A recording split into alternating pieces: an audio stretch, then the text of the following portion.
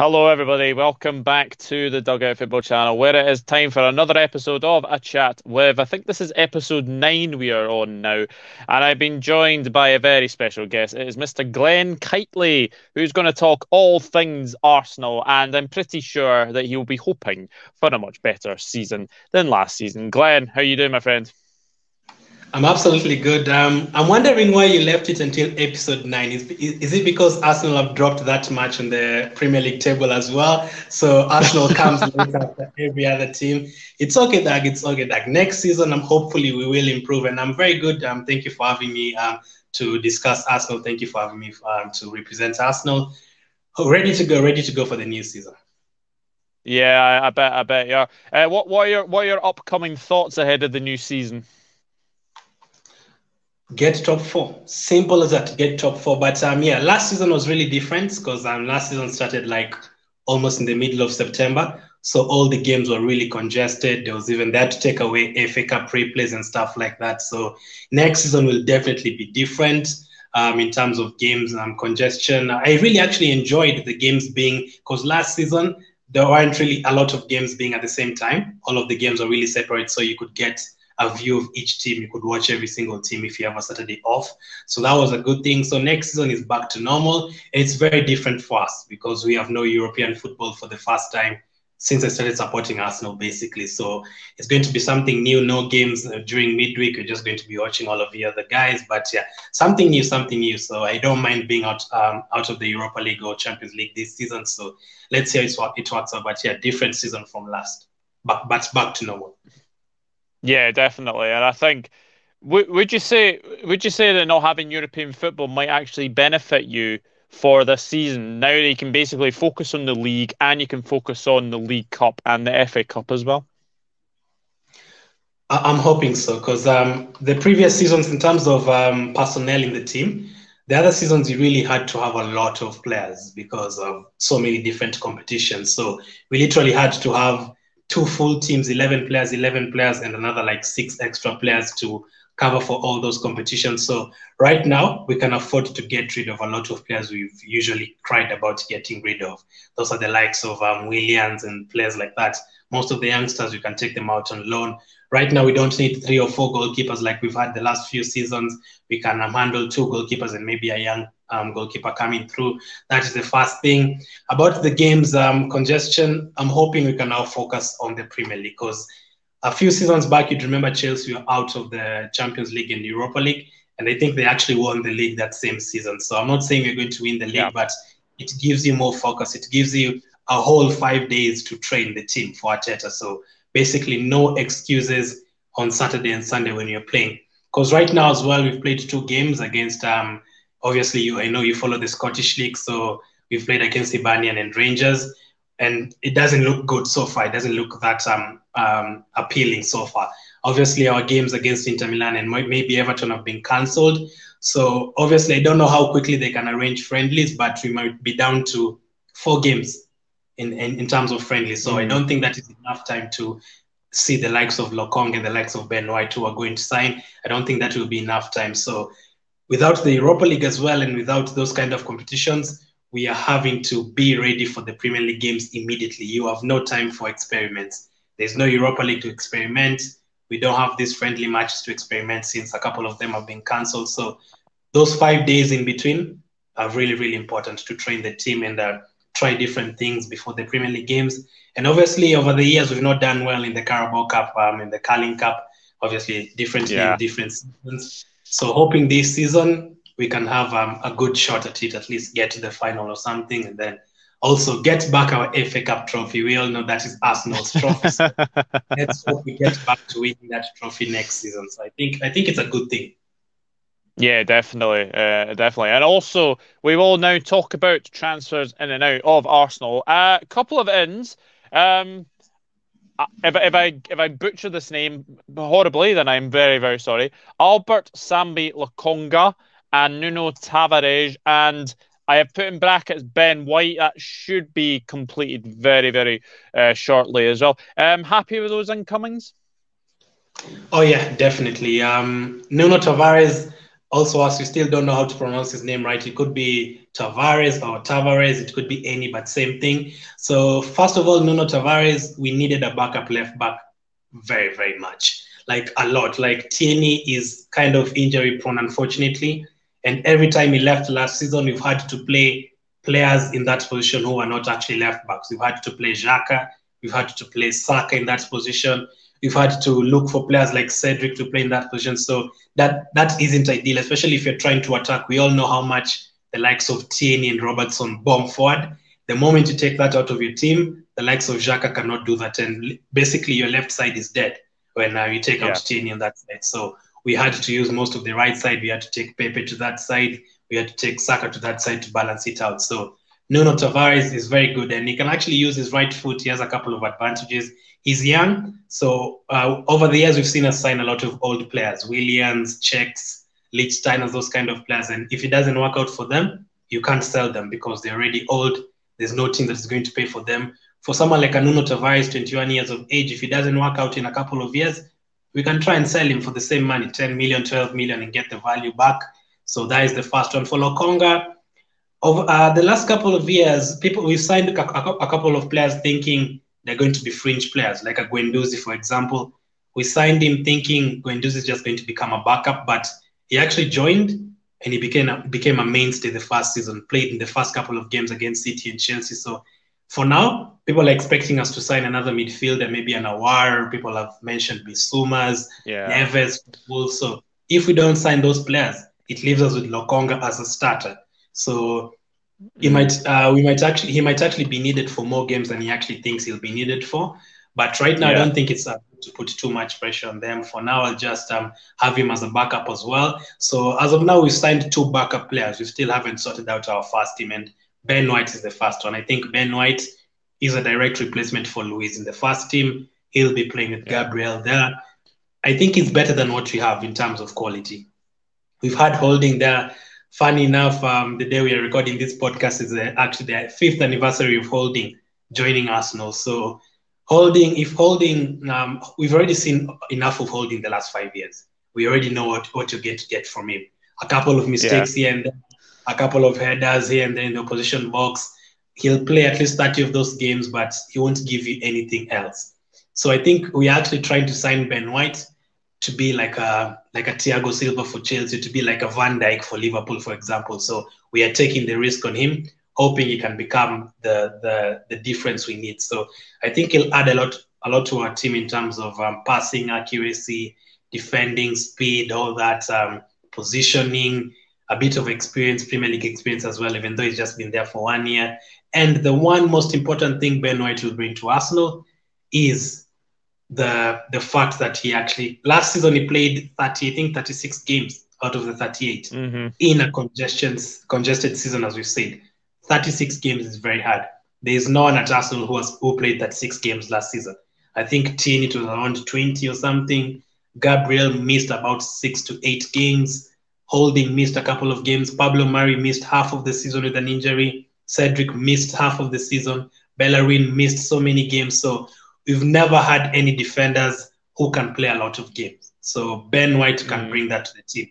The previous season at Leeds in the championship, he played all 46 games, all in a yeah. championship. So that that uh, attribute about him is very important. So at least you're bringing something we don't have.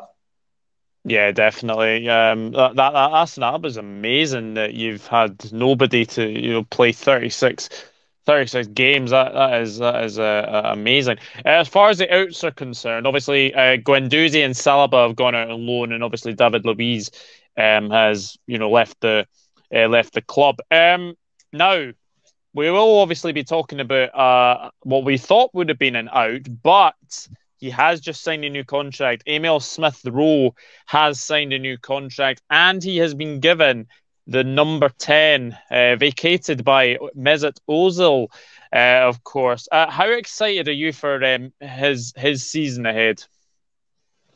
Oh, very, very much. Let's be honest. Last season, November and December, I think we lost like every single game. Wolves, Burnleys, Evertons, all of them beat us home and away. So the moment we got to after Christmas, I think that was our Christmas present. We got Smith into the team and we got yeah. Saka into the team, and literally our fortunes changed.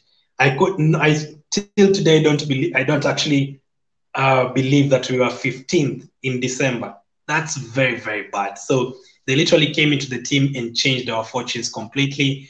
We beat West Brom, we beat Chelsea, and um, most of the season they covered for us in a lot of positions, a lot of games. He can play on the left just like Saka. He can play as a number 10 just like Saka. So they covered a lot of positions. Listen, right now we are we every Arsenal fan wants a number 10. We all want an attacking midfielder so that we don't put too much pressure on Smith Rowe. But if we actually decide to splash the cash um, for for central midfielder next to Partey and splash the cash for a new right back and then maybe get um, a, a, backup for Smith Rowe, I wouldn't mind. Obviously, we need the Maddison. So if Maddison joins and Smith Rowe is still in the team, I think that makes us definitely stronger. Last season, the moment you got one injury, like an Aubameyang or a Saka, the bench wasn't good enough. You had players like Nelson on the bench, players who've never played. You had players like an Elneny on the bench, the players who literally would you'd have to change your style of playing, your approach, because those players are not the same.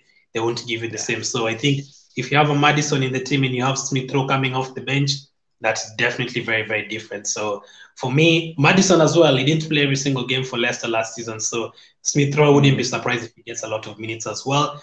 And that is why it looks like we'll have to get rid of the likes of Nelson because I don't think they'll have space in this team. Yeah. If we have Pepe, we have Saka, we have Aubameyang playing in midfield, we have um, the likes of um, Partey, and there's been talks about Aouar and all those kind of players. If we sign two midfielders, Smith Rowe still very, very good player very, very good signing. I'm happy to see we are changing our approach in the transfer market and in the contract situation.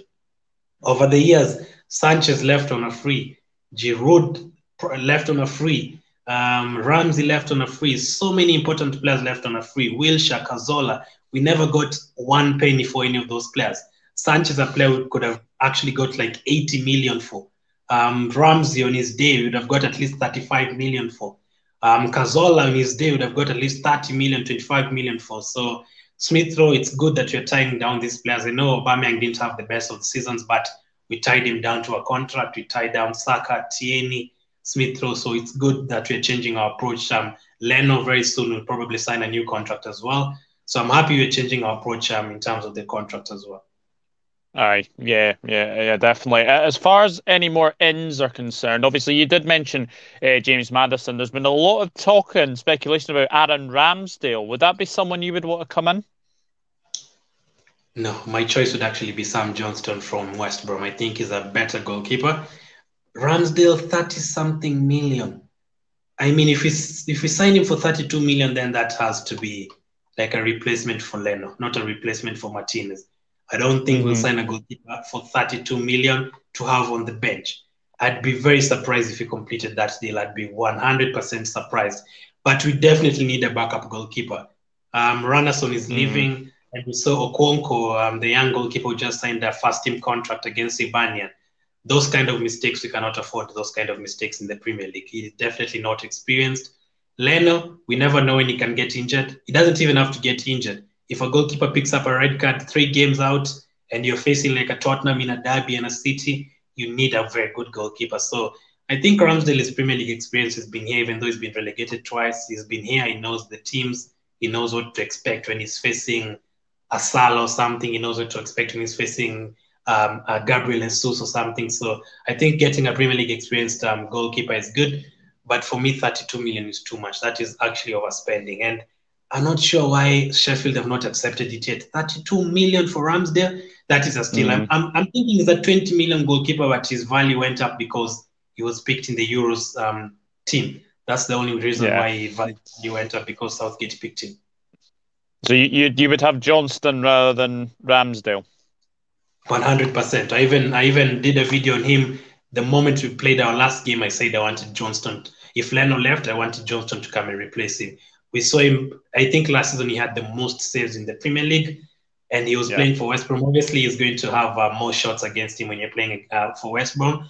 But the kind of saves he was making, very comfortable. I remember against City when um, Bilic's last game when he was sacked for West Brom before Allardyce joined, the nil-nil draw against City. That was Johnston. I think he made like 13, 14 saves in that game. Those kind of performances, we need them. Uh, those kind of performances in the team. So I'd have Johnston instead of Ramsdale. Very, very interesting. But I think it, it does it does look like that uh, Ramsdale could be uh, potentially coming in. Um, obviously, we've mentioned James Maddison as well. Outs. Who who do you think? Do you think there'll be any more outs at Arsenal? I'm hoping. I'm hoping so. We can't, as, as we've just talked about earlier, we, we don't have the Europa League, so we don't need all those players. And the contracts, can we really afford to like a Maddison. I'm imagining. I'm imagining if Maddison comes to Arsenal, I can see him getting 200k a week. I cannot see him getting any mm. less than that. Um, if a Ramsdale comes, let's say 70, 80k a week. If um, we sign like a, if we end up signing like an Aouar, I can only see like 100k a week. So that would be too much in terms of um, salary per week and wages. So we're having to get rid of William. I don't think William will be an Arsenal player next season. If um, we don't sell him, or if no other team comes for him, I'm thinking they're going to cancel his contract. Unfortunately, they'll just cut their losses because we didn't really sign him anyway. We got him on a free, yeah. so I think they'll just end up canceling his contract. Kolasinac, we've already signed a backup left back. Kolasinac, where will he be used? Nowhere. And I saw him playing against Hibernian. Mm, no, he's not the answer. He's definitely not the answer. So I can see him leaving as well. Obviously, Xhaka is about to join Roma. Some people will still keep uh, Xhaka. If you're if you're forcing me to keep him, I'll have him on the bench. But I think he's one of those players who've stayed for way too long. Those kind of players you have to get rid of. They've stayed for too long. You already know what, what you're going to get from him. So you have to get rid of him. Those are three. Um, Bellerin, if you're going to um, bring more money into the team, we have to sell players like that. Bellerin, we can get at least 15. Okay, people saying 20, 20 million, obviously it could be a lot, but you can get at least 15 million for Bellerin. Eddie Nketiah, I would sell him, would get a bit of money for him. Um, and then a couple of loan deals, maybe the likes of Nelson. Joe Willock, I'd keep. I'd keep Joe Willock for this season. I think he did um, so well for them, so for Newcastle last season. So I think I'd keep. Uh, I'd keep. Runarsson is going to leave. The third choice goalkeeper is going to leave as well. So I think this July and the first week of August, it's going to be very busy. I think you're actually going to see a lot of Arsenal news on Twitter daily basis. You're going yeah. to see a lot news, a lot of news every single day, Monday to Sunday. So let's see. Yeah, absolutely. Right, let's kick things off with your uh, your first six fixtures of the Premier League. Now you do start the Premier League season against Brentford away, yeah. and then you have Chelsea at home, Manchester City away, Norwich City at home, Burnley away, and Tottenham at home. Tough, tough, uh, tough first six. But how many points would you be expecting to get out of those first six? Mm. We have to beat Brentford we have to we you can't lose the first game against a promoted team. Um, Chelsea, surprisingly, we actually do beat Chelsea. I know they're a very good team, but we actually yeah. beat them home. Okay? So I think we're playing them at home. I'd say against Chelsea, let's at least get a draw. At least a draw. Don't lose the game. Uh, Manchester City, we never get anything against Manchester City. So I'm hoping this season we can try have a good uh, performance there. So maybe maybe the first three games, I'd say four points, and then Norwich, is it Norwich? Did you say Norwich? Norwich, yeah. It has to be three points, and then Burnley, I think, away somewhere there. Yeah, Burnley away. Yeah. It has to be three points, and then which was the other one? Uh, Tottenham at home. Oh, Tottenham at home. Mm. I, I think from the first six games, I'd say we can afford to lose one, and you can afford to draw one. So I'd say at least four wins, at least 13 points, but I'd be happy with 12, I'd say. That's not uh, that wouldn't that wouldn't be that wouldn't be too uh, too bad. Obviously, you would want to win the, the North London derby. Um, I mean, yeah, another Tottenham manager against Arsenal. Like, um, yeah. I'm I'm actually I'm actually running out of of a of, of list of actual managers because it, it, feels like it's up to about here. It feels like it's up to about here in Tottenham managers. Uh, now we've obviously got Nuno um, and it's um, and at Tottenham. So yeah, that's going to be very interesting. But yeah, I think I think twelve points would be a very very good um, return from from that lot. And then your final six games, you have Southampton away, Manchester United at home, West Ham away, Leeds United at home, Newcastle away, and Everton at home. So by then. You'll obviously be hoping that you're still obviously in contention for a you know a top four place, maybe even a Europa League um, place as well. And you know, you'd obviously want to avoid that new um, Europa uh, Conference League um, yeah. for sure. But but the, the final six look much better on paper than they do uh, with the first six. Yeah. Now let me tell you something about Arsenal. I'm seeing um, I, I started supporting Arsenal around 2004. Um, so I never really obviously paid attention that much like I am right now. But there's something I definitely know. Since 2009, we never win our first two games. The, uh, over the last mm. um, since 2009, that's about 14 seasons. We've only won our first two games twice out of the 14 seasons. We either usually draw, win one, or lose both, or win and lose. We never start the season with two wins back to back. The only time it happened was Emery's, season, um, second season. We won two games in, a, in, the, in the beginning, and I think a couple of seasons ago, we always tend to lose a few games. And that usually leaves us in a position where, after five games, oh, we're already six points behind Liverpool, we're already 12 points behind City, we're already six points behind Chelsea, and leaving yourself having that much pressure is usually terrible. Try and get a good start for once. Let's get a new start.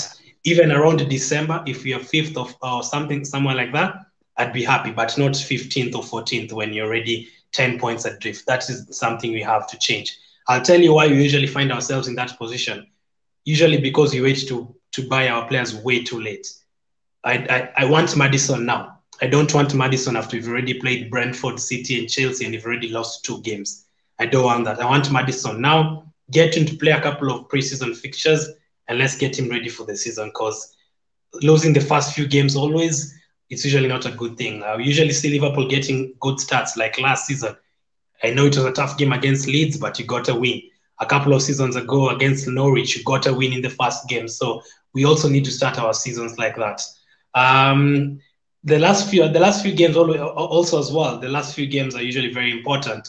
Usually now we tend to end our seasons well, like we did last season. I think we ended with like one defeat from the last ten. It, it was against you guys, Liverpool, to- totally trashing us at home. So that was the last time I think we yeah. actually lost a game. All the others we actually got good results. So um, the last few games definitely very very important as well. But if um, if you're eight points clear of fifth position, you can afford to lose two of the final or five games, for example. Mm-hmm. But if you're chasing it, you leave too much to do. You have to win those games. So you saw Chelsea last season; they put themselves yeah. in such a comfortable position. They could even afford to lose against Aston Villa on the final day, knowing that Leicester wouldn't beat Tottenham, for example. So let's put let's not um, depend on other teams though. Let's get our job done from the first game. Yeah, yeah, absolutely. So I've got a couple of questions to for you before obviously we end. Um, one is a hypothetical question. If Arteta doesn't start well for Arsenal this season, do you think Arsenal would consider getting rid of him?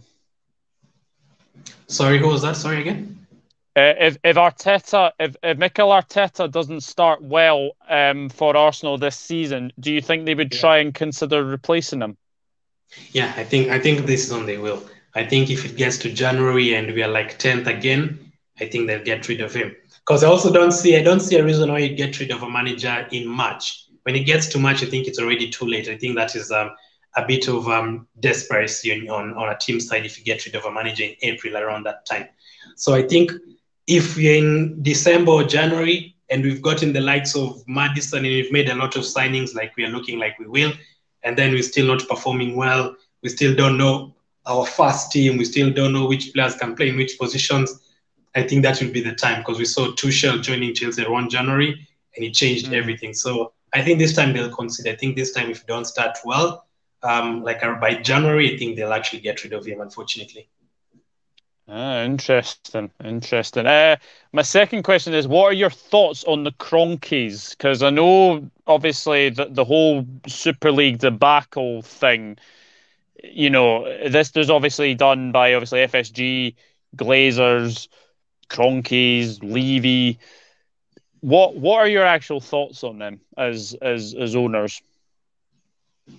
Oh, I usually don't like them. I'll tell you why. Um, uh, for me, I, I, want someone, anyone who owns my club, I want someone to care. That is the one, one word I usually use. I just want you to care.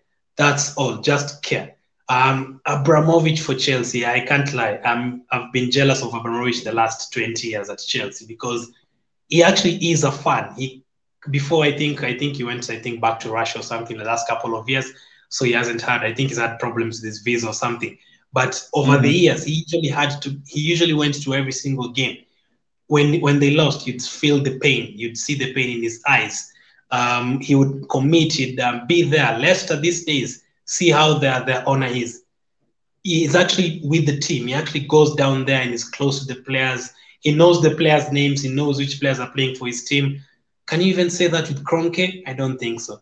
I, am actually very serious. I think if you sit down with Kroenke and ask him to mention 15 Arsenal players, I don't think he will. I actually don't think he'll actually name for you 10 Arsenal players. I don't think he will because he's not. He doesn't care about the team. That's the problem. Yeah. He does not. He cares about the revenue. He cares about the benefits, he cares about the profits. That's what he cares about. Even though you're not getting that much because of you're not in European football, you're not doing well the last few seasons. For me, I usually don't like those owners. I think I don't think it's because they're American and they have the American culture, like people point out. I think you can have an American owner who actually cares. But for me, I usually don't like them because they don't care. You, you, Super League was literally the final nail in the coffin. We saw what they were trying to do. They were trying to turn um, um, European or English football, football that we love into NBA, into American yeah. football format, into Western Conference, Eastern Conference. They are trying to turn it into. There is even discussion about quarters, not 45 minute halves, quarters. Let's have four quarters in football. No. So all that is definitely people who don't care at all. So for me, I, I, I usually don't like them because they don't care. Um, so I think the best thing would be for I'm hoping in the next five years most of most of them have sold the teams. That is what I'm mm-hmm. hoping for. Fingers crossed, my friend. Fingers crossed. Now, my final question for you is: with obviously no European football this season, you can obviously focus on the league, on the cups, uh, and uh, etc. Where would be an acceptable position for Arsenal? We have to get fourth. I don't know how I don't know how long before you can you cannot call yourselves a top team anymore because we've been out of the Champions League since 2017. We are going into 2022. If we don't get Champions League next year, we are going into 2023 without Champions League again. That will be almost, and before you know it, it's 2027 and it's already 10 years out of the Champions League, and you cannot actually call yourself a top team anymore because teams have overtaken us. Um, the only team that used to be ahead of us in the Premier League era was United Chelsea came, they overtook us. Um, obviously, City came, they overtook us. Leicester came, they overtook us. Liverpool came, you've overtaken us. You've actually won a Premier League, and the last time we won a Premier League was way back in 2004. Teams have overtaken us. I'm afraid Aston Villa and West Ham are starting to get uh, the grip of it as well. Will they overtake us as well? Maybe not in terms of history, not in terms of being a bigger club, but in terms of finishing the league if a team finishes above you five consecutive seasons, you have to get worried. So for me, we have to get fourth. We have to get fourth. I know City will improve. I know you guys will have the likes of Van Dijk back. I know Chelsea are European champions. I know United will have definitely strengthened their team, but we have to try and get fourth. We have to try and get fourth. Fourth four four for four for bust for you. Well, that, that yeah. that's absolutely that's absolutely absolutely fascinating, and um, uh, it's, it's fascinating to get your thoughts on obviously all things Arsenal as well. But Glen, thank you very very much for coming on to the to the channel and obviously giving me all insights into all things uh, Arsenal um, as well. Uh, where can we find you on the socials? Thank you very much for having me. Um, on YouTube, it's um, if you search for everything Arsenal, or Glen Kightley, whichever, you just see me there. Um, also, I actually have a second channel. I don't post a lot, but I usually talk about other teams. It's everything football. And on, on the on Twitter, it's Glen Kightley, uh, like it is on screen. On uh, Facebook, everything Arsenal, and the same on uh, Instagram as well. So thank you for having me, man. Absolute pleasure. Absolute pleasure. Yeah, go and follow uh, Glen's uh, Glen Everything Arsenal, and obviously I will leave his second channel in the description box down below. Obviously, he does does your prediction channels uh, p- prediction uh, on that page, don't you? Yeah, yeah, and I hope this season you can get a win at Anfield. It's been way too long. Nine years is way too long, so I'm hoping this season we don't get trashed at Anfield again. Nine years. Wow, I think you are you are definitely due a, a win at Anfield, but we'll see we'll see what happens in that. But thank you very much for coming on, uh, and uh, yeah, guys, let us know. Uh, Arsenal fans, let us know how you are feeling in the comments down below as well. But thank you very much for watching, and I'll see you in the next one. Take care. Bye bye.